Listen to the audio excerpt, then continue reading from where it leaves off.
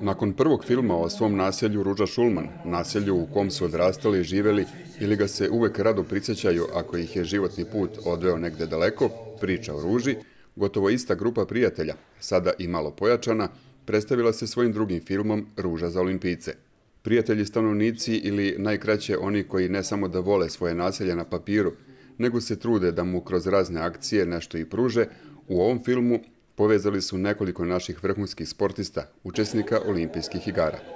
Prvi film pobudio je veliko interesovanje javnosti, pokrenuo lavinu pozitivne energije, pa se tako prva kopija filma nije pošteno ni ohladila, a već se rodila ideja za ovaj film,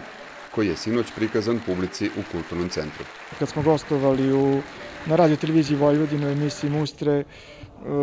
voditeljka jednostavno pitala neki naredni projekat i u tom trenutku mi je palo na pamet da imamo dosta olimpijaca. Tako sam rekao da možda raditi neki film o olimpijcima i trebalo nam je to dve, dve i po godine da ovo što smo danas prikazali da, da uradimo.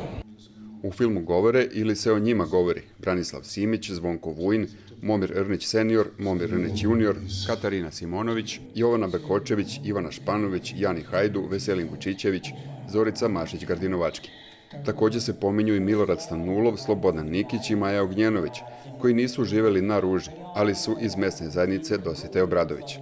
Autorice nisu bazirali samo na vrhunskim rezultatima naših olimpijaca, koje manje više svi znamo i sami, već su kroz toplu priču nastojali da dopru i do njihovih emocija, vezano za život u naselju, odnos sa komšijama, detinstvo, kao i na ono što nose kada su daleko od svoje ruže iz Renjanina. Ovaj vremenski period od dve, dve i po godine unatrag dok smo radili s njima, intervjuisali smo ih, videli smo da su to sasvim normalni, obični ljudi na zemlji koji su nekada se takmičili, a ima i ove olimpijaca koji su i sada aktivni, da treba samo svoje snove ovaj, ispoštovati, trenirati, biti uporan i to je poruka koju su svi rekli, samo rad, rad, trening, talenat je tu, ali bez rada nema ništa. U svakom gradu, naselju, ulici, bloku ili zgradi može se ispričati mnogo lepih priča ili ih povezati u jednu celinu. Da li će prijatelji sa Ruže naći neku novu nit, nama za sada nevidljivu, vidjet ćemo, ali da su drugima dali dobru ideju da urade nešto slično, svakako jesu.